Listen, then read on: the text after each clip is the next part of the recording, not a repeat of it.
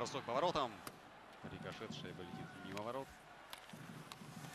Ванисин. Снова перевод. Очень рискованный. В первом случае прошел, во втором нет.